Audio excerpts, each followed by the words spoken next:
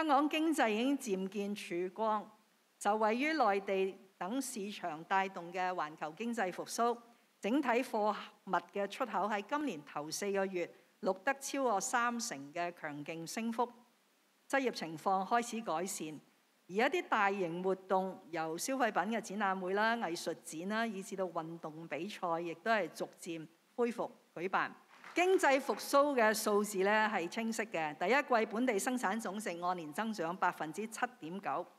結束咗連續六個季度嘅收縮。只要疫情持續改善，我哋估計今年經濟增長咧可以達到百分之五點五。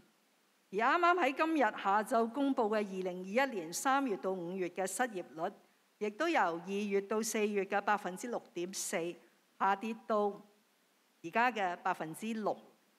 同期嘅就業不足率咧，亦都由百分之三點三下跌到百分之二點八。啊！呢啲好消息咧固然令人鼓舞，但係大家必須要持續努力，先可以保住呢個良好嘅勢頭。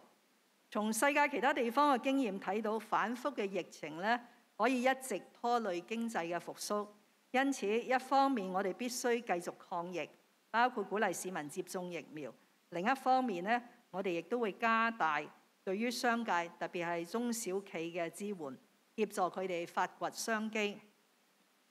其中香港係必須要找緊十四五規劃綱要裏邊嘅機遇，積極融入國家發展大局，